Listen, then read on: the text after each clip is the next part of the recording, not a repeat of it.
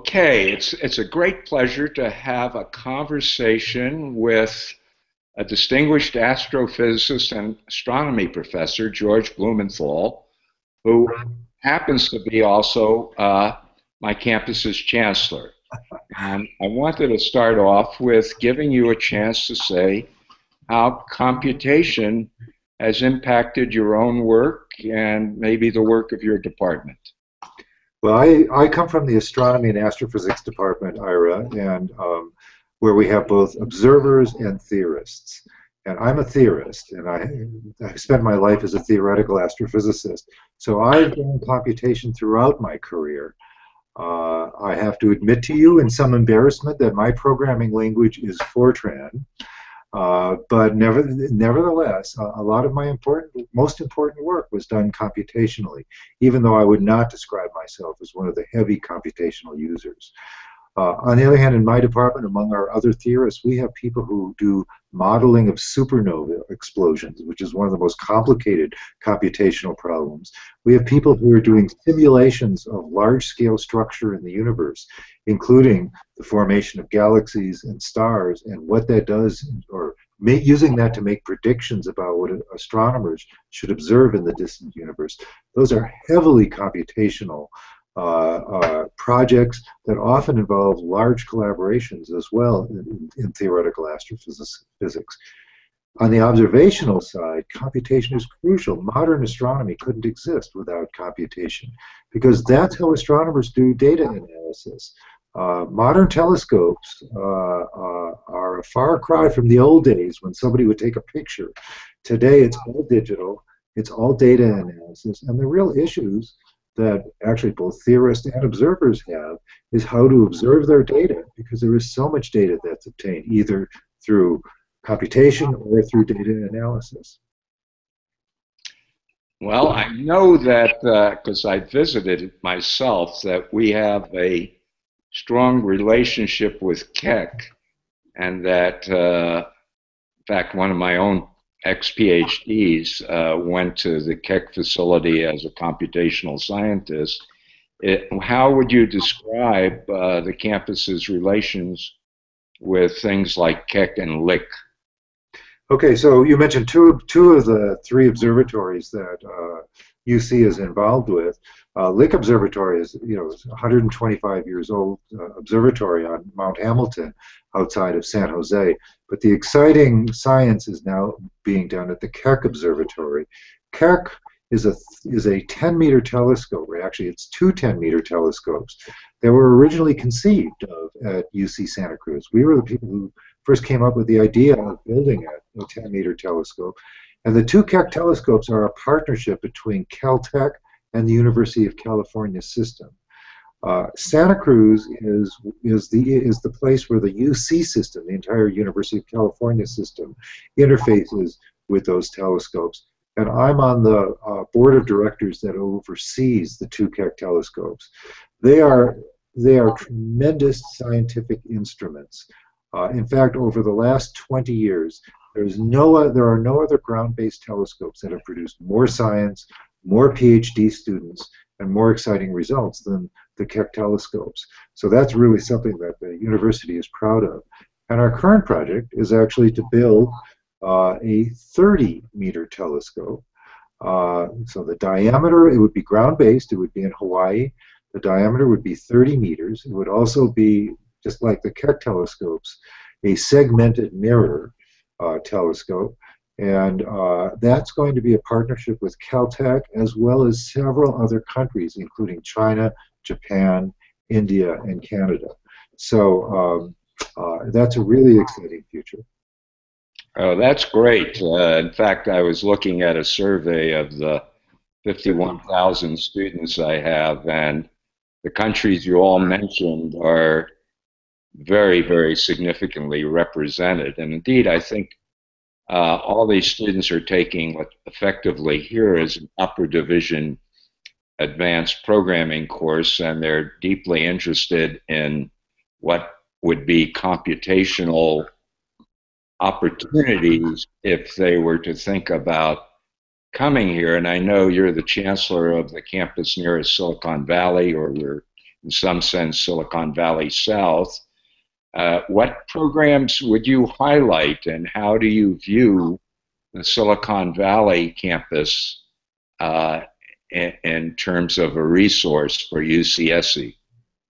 So, uh, before I get into the Silicon Valley issue, let me just say that uh, I do hope that some of your 50,000 students will end up uh, perhaps using these observatories. Uh, that we're using the 30 meter telescope uh, uh, when it comes online in 2022. And uh, uh, I, will definitely look forward to that. And I, I think it would be great if they learned their programming from you uh, in this MOOC. So I think that's a great opportunity. So turning to Silicon Valley, UC Santa Cruz is the University of California campus closest to Silicon Valley. We see ourselves as the UC of Silicon Valley. And we have a number of strong programs there already, and we see more coming uh, along. Our, one of our biggest efforts is in data sciences, uh, and um, and we now have uh, existing master's programs in electrical engineering, in technology management, which is a, is a new field and a very exciting uh, uh, new field, and in computer game design, which is also a field that's really uh, um, attracted a lot of attention and a lot of students recently. Uh, we have uh, also a bunch of research going on in Silicon Valley, largely through the School of Engineering, but also associated with the NASA Ames uh, Center. NASA has one of their uh, one of their uh, major research centers in Silicon Valley, and we have a very close working relationship with them. In fact, UC Santa Cruz currently holds the largest competitive contract that NASA has ever given to a university uh, in Silicon Valley. So we have a, a, great deal of research collaboration going on with them as well, and that's really quite exciting. As I look to the future, I see uh, uh, some of our next developments being in other areas of data sciences. We have an exceptionally strong group, for example, in storage systems, in computer networking, in robotics. Uh, all of those are areas that are of, of great interest to companies in Silicon Valley. And so, and maybe I'll end this answer to this question by pointing out that uh, a lot of our students, undergraduates and graduate students, have great opportunities to do uh, internships with companies in Silicon Valley. That's benefited the campus, it's benefited them as students, and it's benefited the companies that they work for. Uh, and programs like computer sciences, which you're associated with, uh, have, had a, have had great success. I think our computer sciences program, if you look at their graduates of our computer sciences program. They're among the highest earning uh, uh, uh students of any computer sciences programs in the country. It's something to be really proud of. And a lot of that is due to our proximity to Silicon Valley and the jobs of Silicon Valley. Uh, I also know uh, because I, uh, I actually, once upon a time, hired David Haussler when I was chairman of computer science Congratulations. Thank you. uh, and indeed, a lot of my course is about graph algorithms, even though uh, uh, his algorithmic work and Markov prediction is somewhat a graph algorithm. He and Jim Kent, uh, Jim Kent is a heavy duty C programmer, so there's uh, a deep interest in algorithms in C++ that my students uh, are doing, in which uh, UCSC has had a very big impact. I didn't know if you had any additional comments about that whole genomics and uh, I know it's also large data, the cancer genome projects. Uh, do you have anything that you're seeing uh, that will be happening? Oh, absolutely. And that's happening on campus and maybe even a little bit in Silicon Valley as well. But it's really one of the most exciting fields uh, in the country or even in the world is genomics. And the reason UC Santa Cruz is so uh, central to modern genomics and human health is through the work of David Haussler uh, and, and his colleagues. Uh, because the Human Genome Project was actually completed at UC Santa Cruz in the year 2000 by, by David. Um, he was the person who figured out the algorithm to connect the little pieces of the human genome together and make the final version. And it was UC Santa Cruz that put the first draft of the human genome up on the web. So we were the people who did that. And since then, that was that. Since then, we've moved on to even better things. Uh, currently, uh, David is involved in an international collaboration on cancer genomics. Uh, the National Cancer Institute in the United States has already named UC Santa Cruz the Cancer Genome Hub for the country. So uh, we are where uh, data from all labs in the United States currently store their cancer genomics data. And uh, we have many people doing research on, on these data, trying to identify the properties of different types of cancers and, and, and eventually potential treatments. I think the key point here is that cancer is really a digital disease because it represents uh, defects in the DNA of cells in one's body, and which can be described digitally.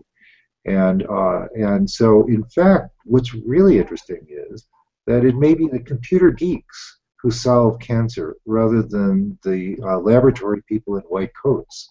Uh, because understanding the the nature of the digital disease may turn out to be the crucial element to conquering that horrible disease. And even though our campus at UC Santa Cruz doesn't have a medical school, we're right at the center of this exciting project. Oh, that's great. Uh, I want to get back to a little bit of uh, the heritage you and I share. Uh, in some ways, I feel what I'm doing now in Coursera with this large online education uh, effort it start, starts with what we came here for in the 1970s when Santa Cruz was this uh, very originally uh, designed college structure with an emphasis, a very important emphasis on teaching in a way that uh, Clark Kerr felt UCLA and Berkeley had moved away from, and that we have this deep heritage of being innovators and reaching out uh, in unique ways. I didn't know whether you wanted a comment for these international students on what the circumstance of how they would uh, participate on our campus and what that might mean and possibly where online education might go. Yeah, that's a very broad question, but it's an interesting one, Ira, because uh, as you said, you and I go back a long way. I think you and I first met as very junior assistant professors uh, way back in the Middle Ages. And uh, um, uh, when the campus uh, at Santa Cruz was very young. And we've seen uh, the evolution not just of the campus, but of higher education, new technology, and the role that the changing technology has played in, in, in higher education. One of, the, I mean, there are several things that characterize our campus that really make us unique. One is uh, our physical layout. Uh, it's a beautiful campus, and I would say to any of the audience, if you haven't been to the Santa Cruz campus, you really should visit it. I mean, I think you can visit it uh, virtually on the web, but it's much actually much more impressive to visit it in person. The second thing that characterizes our campus, uh, Ira, you mentioned, was our, our college structure. Uh, we try to have the best of both worlds as a campus. We have 10 relatively small residential colleges where new students uh, have the experience of taking classes with the same students that they live with. So they take classes in their college, they live with other students in their college, uh, they uh, participate in extracurricular activities in their college. So they have that small college experience when they come in as freshmen.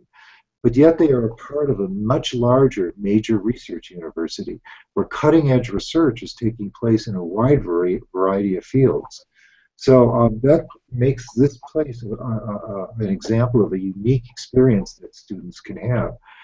One of the other things that, that characterizes our campus is the involvement of undergraduates in research. Uh, right now, approximately 60% of our undergraduates, when they get their bachelor's degree, have been involved in research, cutting edge research with a faculty member. That's, that's an almost unheard of percentage for uh, universities anywhere in the world.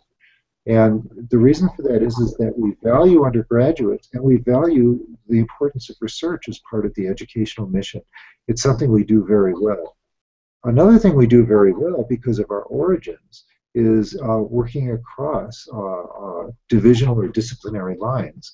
Um, uh, the work I mentioned a few minutes ago about genomics really came about because a computer scientist decided to work with a biologist. Uh, we have examples like computer gaming that involve faculty and students from a wide range of disciplines, obviously engineering, but also uh, humanities because they have to think about linguistic issues, the arts because they have to think about how to represent images on the screen, social sciences because a lot of modern human gaming involves psychology, for example, and the sciences because uh, what's portrayed in a, in, a, in a, game or a simulation or a training has to be consistent with the physical laws of, the, of our universe. So uh, that's an example of a field that really touches every single academic division or discipline uh, or, or, area within a university. And that's something we do very well here because we're a relatively young university. So we haven't built the walls that uh, some universities have managed to build that are impenetrable. So it's really quite a unique place. Now, today we have uh, online education and MOOCs coming to the fore, and I'm really delighted to have this opportunity to talk with you about uh, uh, really as a part of your MOOC. So first of all, impressive. You have 50,000 students, or more than 50,000 students. That's great. It means that you can really reach out and touch a large number of people all around the world. That's one of the reasons that I wanted this campus to join with Coursera so that we could offer this kind of course. And um, uh, another example of that is, uh, uh, in fact, I think our first course that went up on Coursera was a course on the Holocaust, taught by two of our faculty members, uh, one of whom is a Holocaust survivor, uh, who can bring a personal perspective to uh, studies of the Holocaust. And that's a course that's also been just like yours, enormously successful uh, in reaching people around the world and quite unique in terms of uh, course offerings that might be available to students anywhere in the world. So I'm really proud of the fact that we can actually display some of the unique courses and learning opportunities we develop right here on this campus and make them available to anyone, anywhere. So I see that as something that has, a, has potentially a bright future. And I also recognize that um, the advent of online education is going to really change the way we do things. One example, one other example, at least on our campus, is that a number of faculty have decided to flip their courses, which means that instead of having a lecture in a big lecture hall at a fixed time, they record their lectures, put them online so that students can view them anytime they want to, and that frees up the professor's time so that they can actually have interaction time with students uh, in smaller groups or where there's questions and answers or where they can challenge students to think about uh, uh, the issues that come up in the course in the classroom.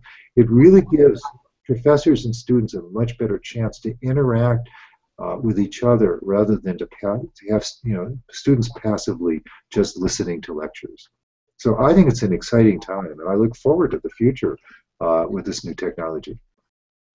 Okay, thank you on all of that. I, I, think one last thing would be any pointers to uh, possibly websites that the international student applying here, either at the graduate undergraduate level, should look at any very specific advice to them about applying?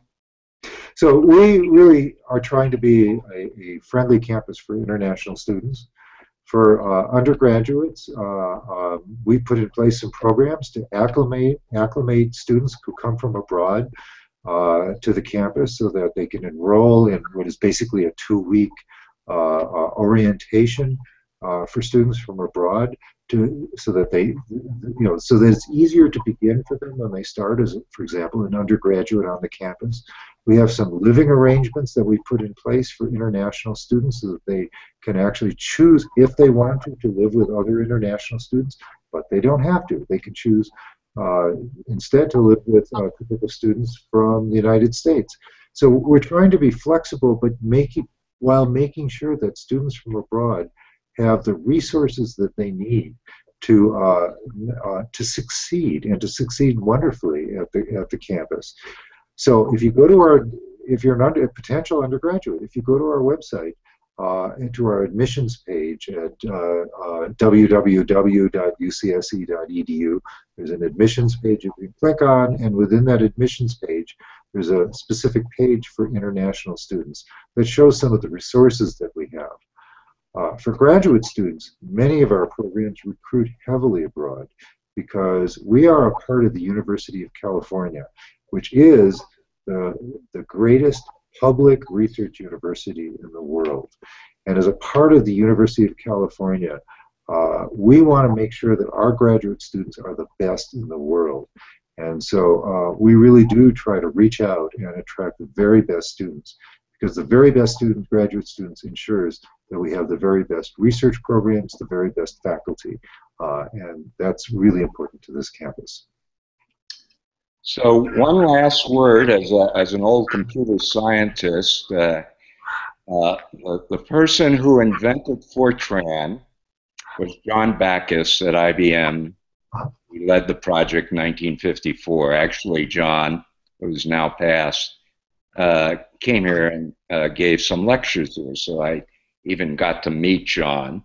And the one thing said about Fortran, so you shouldn't feel bad about being a, a Fortran programmer, is that in the 21st or 22nd century, there will be programming. And whatever that programming it is, it will be named Fortran.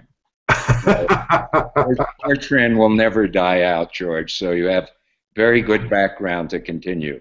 Anyway, thanks a lot for taking time from, from your from your very busy schedule. Uh, it was just wonderful uh, being able to chat with you. Thank you, Ira. This was a real pleasure, and it's always great to see you, even if it's virtually.